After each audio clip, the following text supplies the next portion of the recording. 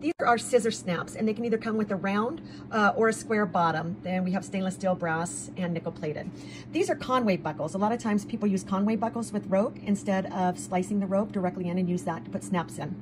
This is what we call our twist snaps. A lot of equestrian people like this uh, product. It twists. Um, some people also call it a safety snap, but on our website, we call it a twist snap. This is a standard bull snap. We carry these in brass and nickel plated. Now this right here is called a trigger bull snap. And the difference is, is you can do the thumb trigger like that. This is what we call our buffalo snap. The buffalo snap, uh, the release is right here in the back instead of the front. This is a panic snap. These we call our bolt snaps, and really some people use them for dog leashes, uh, horses, um, and other types of projects. This is known as a carabiner. We also call it a safety spring snap. So we carry these in stainless steel and nickel plated. These are our O-rings, which we carry in one inch, one and a half inch, and two inch. And finally, this is our